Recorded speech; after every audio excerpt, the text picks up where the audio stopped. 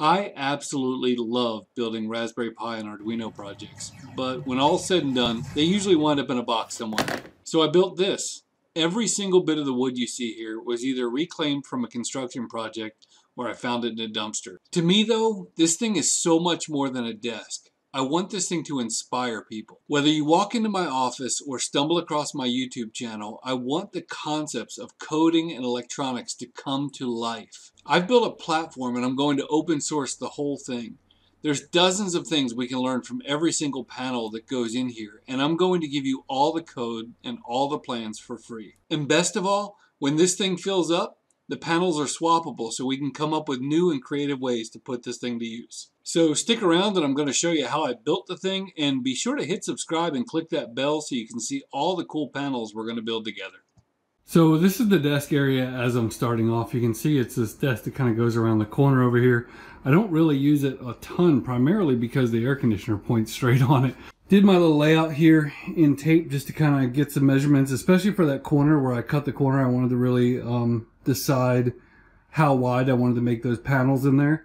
And then I'm going to be clearing everything off the top here because I'm actually going to take the shelf down so I can screw in from the top and just make sure that everything's super straight. I don't want to do any toe nailing or toe screwing where things are going to kick to the side. I want them to be just dead on. Okay, it's a little sad to see this area cleared out, but it is cleared out. TVs are gone. Uh, most of the wires have been pinned to the wall and stuff like that. Again, keeping the network active.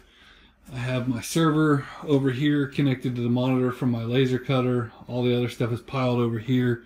Now it's time to get these lights off and get this board off so I can have better access to the top. So here I am partway through the process. You can see that I have uh, this 11 inch off the wall right here and coming down here I have my uh, three panels plus some space at the top I'm going to do some stuff with my TV two more panels three more panels my space up top and then over here uh, that's not screwed in at the moment I've got three panels coming up here plus some space at the top and then this I sort of wish I wouldn't have done this uh, but doing this corner has been a royal pain in the butt um, I wound up coming in here and putting parallel two by fours. So basically like I can slide, let me get that back in there.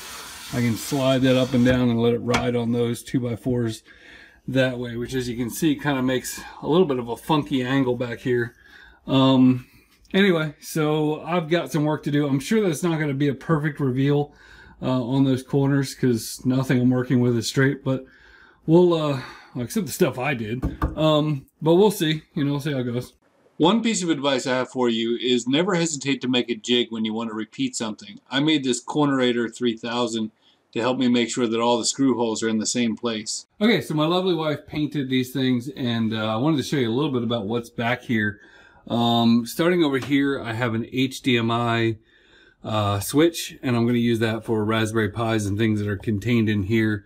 And uh, you can see I've got this little IR emitter here and that's because I have an IR repeater over here so that anything I use a remote control on, it'll blast these signals back here. I have a whole bunch of these emitters so that anything will work back here. Um, up top, I have an 8-port gigabit switch and the Raspberry Pi that does all of the MQTT and Node-RED in my office.